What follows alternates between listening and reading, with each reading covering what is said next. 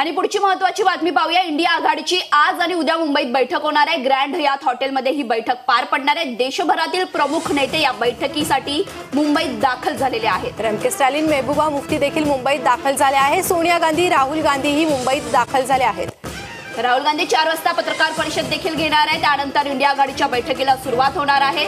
India आघाडीची आज आणि उद्या दोन दिवस बैठक पार पडणार आहे. या बैठकीमध्ये संयोजक आणि जागा वाटपावर असे अनेक मुद्दे आहेत त्यावर चर्चा होणार आहे. याआधी इंडिया आघाडीची पाटणा आणि बेंगलोरमध्ये बैठक पार पडली. ही तिसरी बैठक मुंबईत पार पडते. आहे आज म- आज आणि उद्या इंडिया आघाडीची ही महत्वाची बैठक आहे. संपूर्ण देशाचं लक्ष या इंडिया आघाडीच्या बैठकीकडे आहे. या बैठकीत काय धोरणं ठरतायत काय अजेंडे ठरतायत याकडेच सगळ्यांचं लक्ष लागलेलं आहे. तर देशभरातील प्रमुख नेते बैठकीसाठी मुंबईत दाखल झाले आहे. एम के स्टॅलिनही दाखल झाले. इंडिया के नाम सुनते अभी मोदी जी डर रहे हैं और ये इंडिया नामक जो गठबंधन ये मोदी जी की नींद हराम कर दिए है। तो संबित पाठक ये नसीहत देंगे कि हमारे देश के प्रधानमंत्री जी के लिए नींद की गोली का इंतज़ाम करे और फिजूलबाद बंद करे। इंडिया मोदी जी के लिए बड़ा खतरा बनते जा रहे हैं और दो चार टीवी पे, टीवी के सामने आके मोदी जी की खुश करने की दो चार बयान पेश करने से वो नहीं बच पाएँगे। मैं कहूँगी कि एक ही भ्रष्टाचारी पार्टी रह गई है इस देश में। एक वही भ्रष्टाचारी पार्टी है जो एक वॉशिंग मशीन का भी इस्तेमाल करती है, जो विपक्ष के नेता पे भ्रष्टाचार के आरोप लगाते थे, उनको क्लीन चिट दे देती है।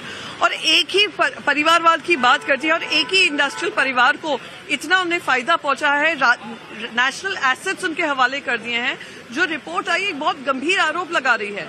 कि सेबी को ये पता था पर 2014 से वो उन्होंने जो इन्वेस्टिगेशन होना चाहिए था वो इन्वेस्टिगेशन नहीं किया। नाउ राहुल गांधी आज तक question in January where that 20,000 crore bond where that 20,000 crore bond whose money is that where is that 20,000 crore came into the shell company there was no answer Now they are saying SEBI is investigating. No investigation. तो India गठबंधन में संयोजक तय होगा? आज के दो दिन में। पता नहीं पता चला यार बड़े नेताओं सर रामदास अठावले ने मायावती का वेलकम किया है एनडीए में। ये दोनों नॉन एंटिटी हो चुके हिंदुस्तान की राजनीति।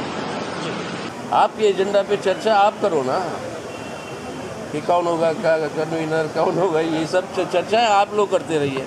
हमारा मुख्य एजेंडा है कि आज हमारे देश की चरित्र जो है एक धर्मनिरपेक्ष जनतंत्र का गणराज जो भारत है उस उसका इस चरित्र को बचाना है?